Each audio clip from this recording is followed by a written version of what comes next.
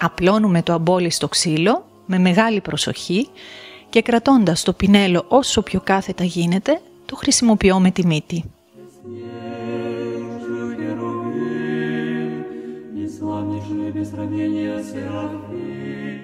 Δημιουργώ ένα πυκνό και κανονικό πλέξιμο χωρίς να ξαναπερνάω στο ίδιο μέρος.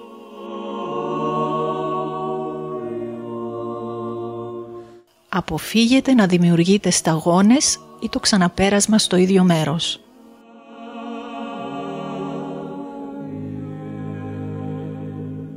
Το πινέλο πρέπει να είναι αρκετά σκουπιστό.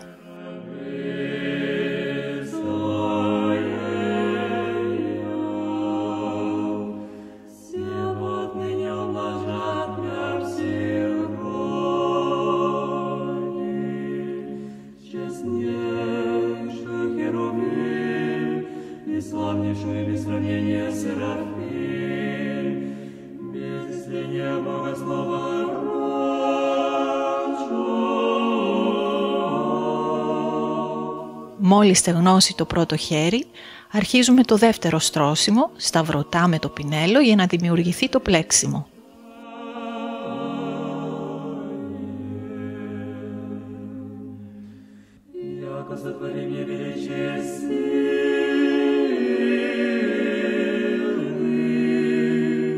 Μόλις στεγνώσει το δεύτερο χέρι, αρχίζουμε το τρίτο.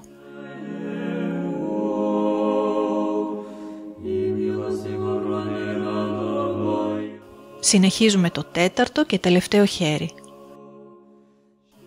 Με γυαλόχαρτο νούμερο 1000 περνάω την στεγνή επιφάνεια για να την κάνω λία.